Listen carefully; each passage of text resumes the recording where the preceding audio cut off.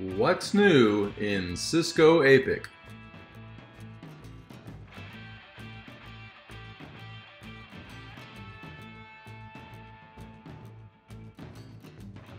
New to first-time setup is the addition of SNMP and syslog, which behave in much the same way as the other wizards you're used to. The goal of which is to allow you to configure all of these features from one place.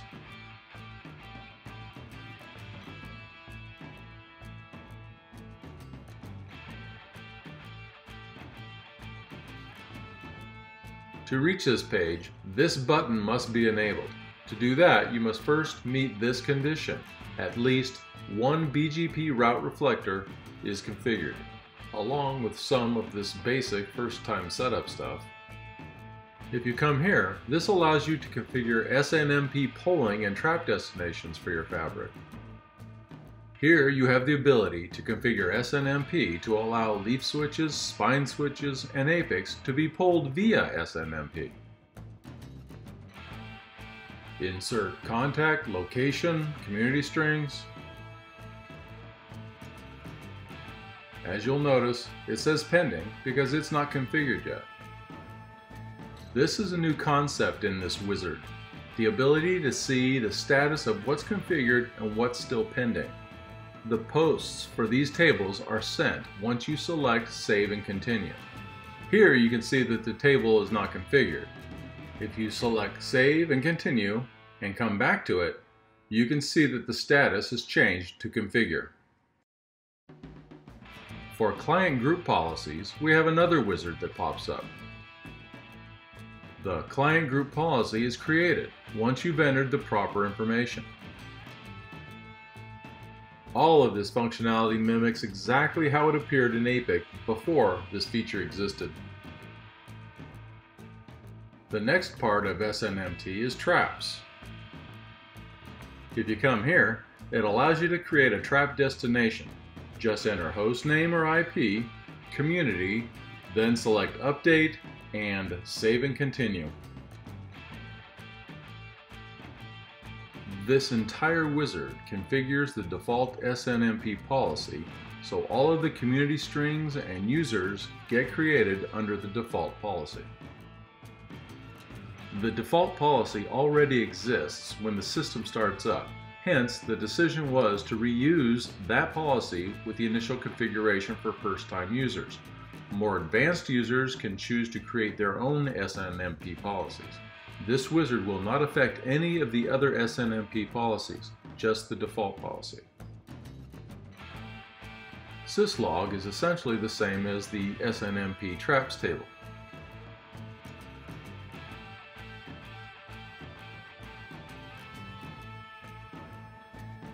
Just enter host, severity, forwarding facility, admin state,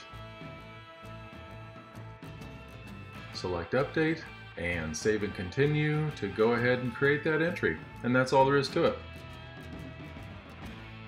For SR MPLS, make sure you've selected the Infra tab and are under Networking and come down for SR MPLS Infra L3 out. Right click, select Create SR MPLS Infra L3 out to take you to the Create page. Give it a name, select the L3 domain, and then select the border leaf in the pod, either pod 1 or pod 2.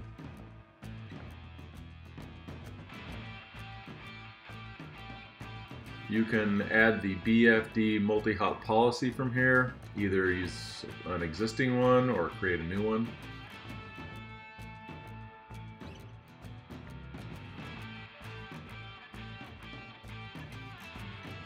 Add the BGP EVPN remote IPv4 address, configure the remote ASN, then select Next.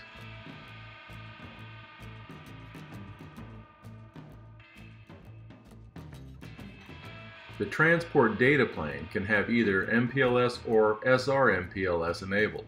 If SR MPLS is enabled, it won't send that segment routing disabled flag under the BGP peer IP. The interface types are set as sub interface for L3 and port for L2, so that's okay. We'll select one node from this dropdown and we can specify any router ID here. The BGP EVPN loopback and the MPLS transport loopback are automatically populated.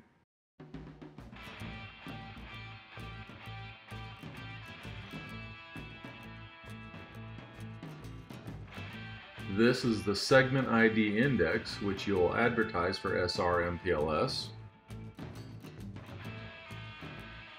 Now let's come to the interface and select an interface and add the VLAN. Uh, MTU is pre-populated.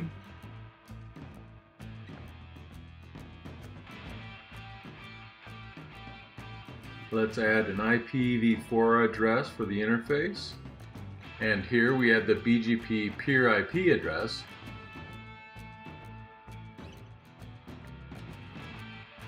and the remote ASN for the BGP PRT.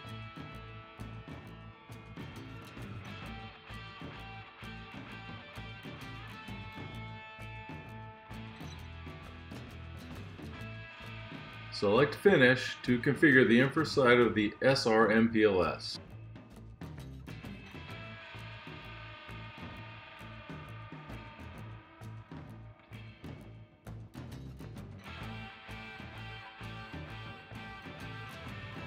This is the information you get on the summary page.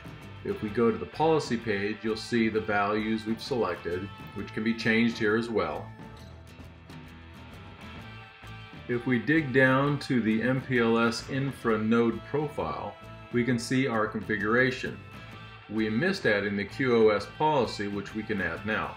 Either use the one provided or create a new one.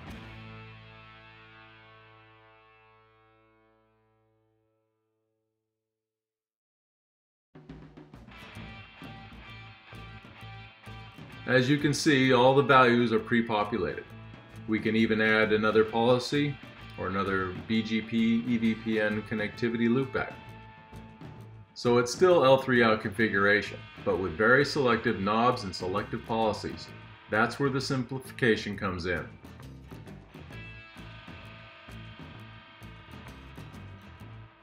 For MPLS, we're only showing those policies required to configure MPLS, and not those things that are used for regular L3 outs. You can drill down and see the BFD interface profile we created,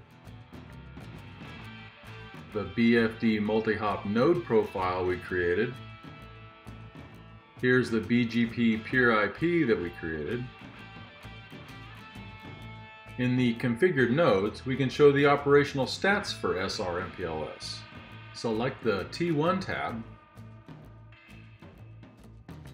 come down under any tenant and networking and click SR-MPLS VRF L3 out. Add the name, select the VRF.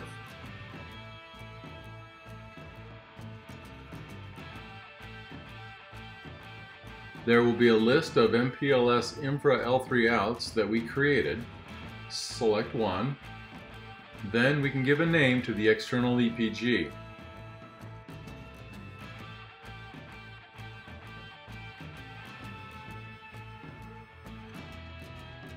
Then we can configure the IP prefix subnet address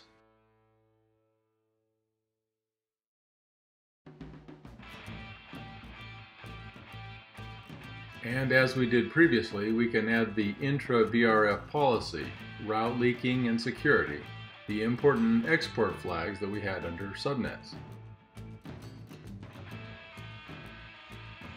We can add the provided contract and the consumed contract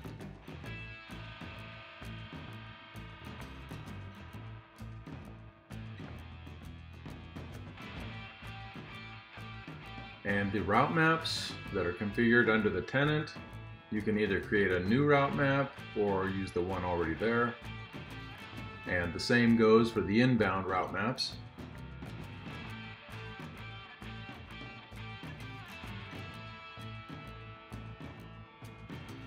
Once we submit this, there's one more thing we have to do.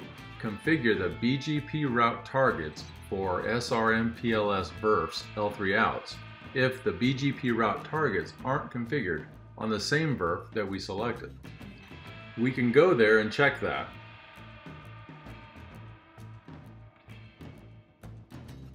It's VRF1, so we can go to VRF1 and we have to add that VRF from here. BGP route target, and after it's created, your configuration for SR MPLS for L3 out is done. If you want to attach more consumer labels to this particular VRF L3 out,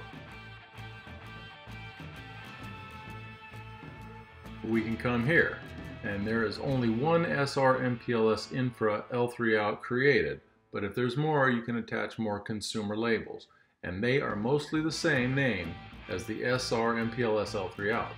So that's the name of the provider on the SR MPLS L3 out, which is the same as the consumer on the VRF L3 out.